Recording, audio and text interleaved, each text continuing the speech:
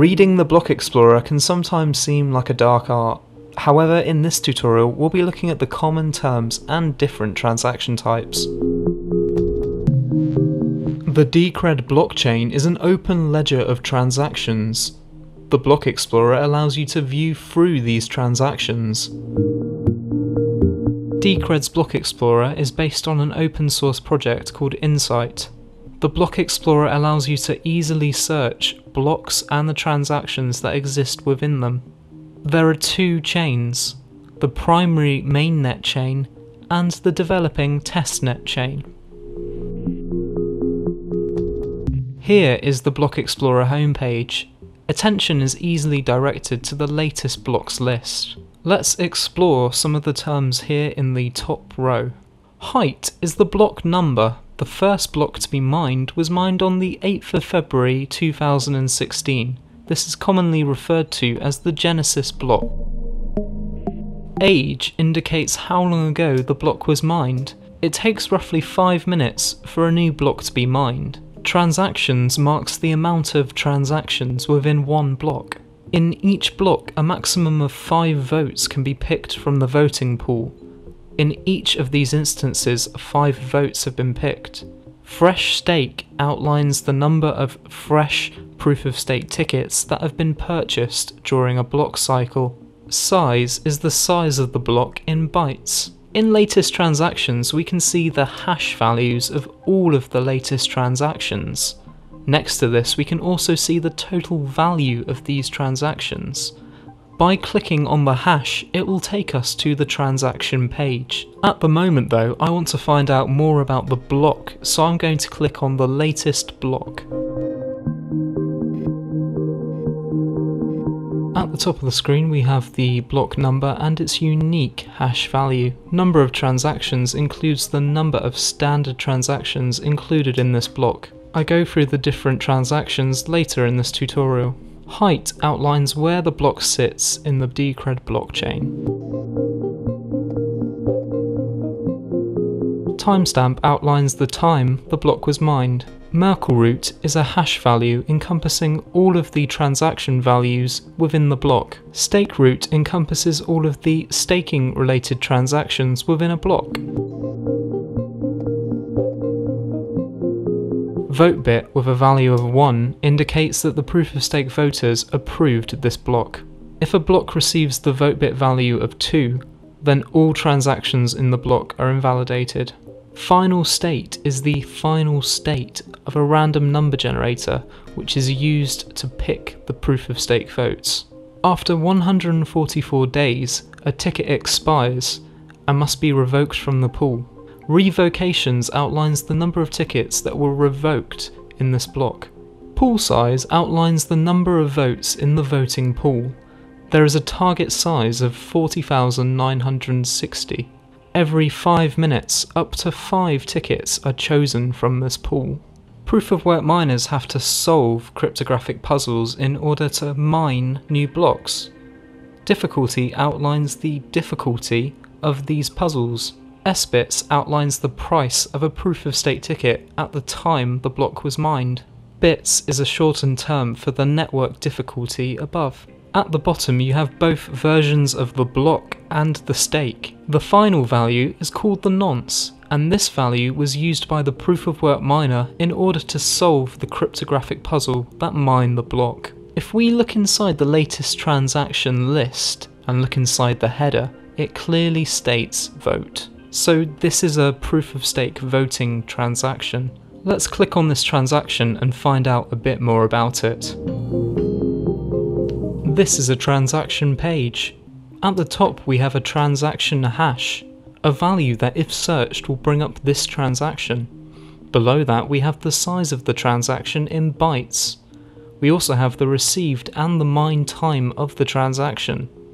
Below that we have included in block and a link to the block that is included in. Below that we have ticket spent, which outlines the ticket that was spent in order to make this transaction possible. Let's click on the plus icon next to details and bring up the transaction inputs and outputs. At the top of the page there is a vote version and the transaction ID. Below this there is a stake base. Stake base indicates that new coins have been created through the proof of stake process. These new coins are included in the input below as a proof of stake reward. On the left we have our transaction inputs, and on the right we have our outputs. On the right we can see there are two addresses where Decred is being sent to. The smaller of the two is the stake pool fee. It's a fee that's paid to the staking pool that held the ticket that was chosen. Below this we have the original ticket price, with the Decred proof of stake reward added to it. At the bottom of the screen we have the size in bytes, as well as the voting agendas and the voting preference for those agendas. On the right we've got the total amount of transaction confirmations on the blockchain, and we also have the total value of the transaction. You can find the latest voting agenda on the voting.decred page. If you prefer to view transactions in Decred over Atoms, you can change the value of measurement in the top right hand corner.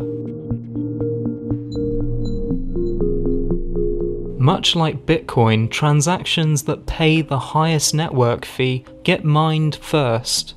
If the network fees on a transaction aren't high enough, there is a chance that the transaction will not be mined in a block.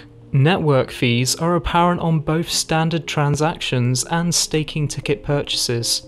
In a standard transaction, all mention of voting or tickets isn't present. However, at the bottom, you can see the network fees paid in order to mine the transaction. As well as the fee paid, there is also a fee rate in Decred per kilobyte. This is in reference to the overall size of the transaction outlined in bytes. Once again, by pressing details, we can bring up the inputs and outputs for this transaction.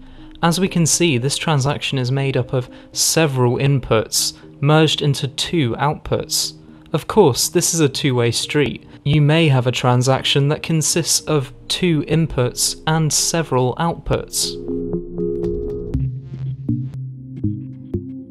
Transactions with the header ticket are used for proof of stake ticket purchases. By once again clicking on details, we can bring up the inputs and outputs for this transaction. On the left hand side, we can see the original sum paid for the ticket. On the right hand side, we can see the stake submission, which includes the funds. Below this, we can also see the stake commitment and also other values holding valuable information such as voting preferences. Not to be mistaken with the large exchange sharing its name. Coinbase indicates a transaction whereby new coins are created in order to reward a proof of work miner. Also included in this transaction is the development subsidy. We can see this illustrated above with the two outputs. We have the smaller of the outputs going to the development address and we have the other going to the miner. To put it simply, the mainnet is where the action happens. It's where you receive your block rewards for either staking or mining. The testnet is a development environment. Imagine it kind of like a sandbox. You can buy all the tickets you want without any real world consequences. To swap the Explorer between the mainnet and the testnet, all you have to do is input mainnet or testnet before .decred.org. Please note there are no rewards for activities on the testnet.